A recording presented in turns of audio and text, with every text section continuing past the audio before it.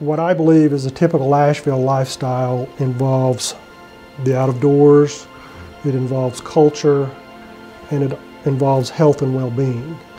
Asheville attracts a specific sort of person somebody who's engaged and somebody who wants to live it up a little bit. I've heard people come for their honeymoon. The first day at the bed and breakfast, they talk about what day they're going to go see the Biltmore estate. And the third day at the bed and breakfast, they talk about who their realtor is. It's alive.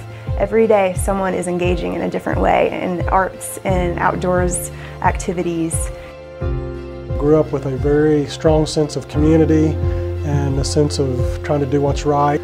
How I started down the path towards where I am now was a love of working with my hands, but also an altruistic heart where I wanted to do things for people. I wanted to serve. Hi, I'm Tim Gillespie, and this is my story.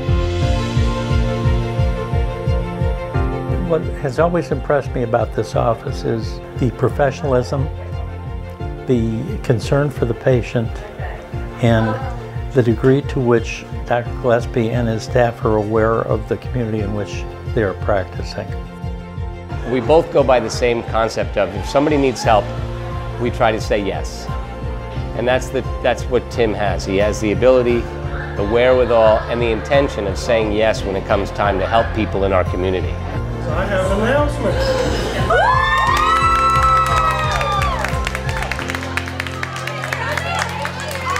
We just recently did a, a, trash cleanup on the river.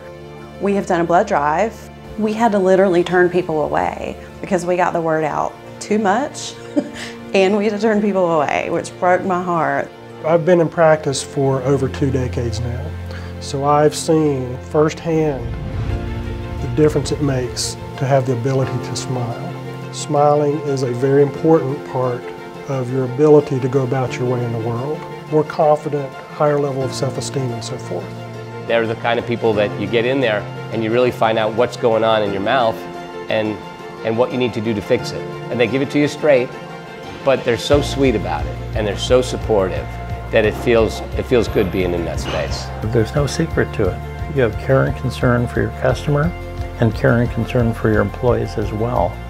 Then that result is going to be a welcoming place. I enjoy learning about their trips, their vacations, their hobbies. Like we become friends, we become family. Actually enjoy being relaxed, waiting to have my teeth cleaned.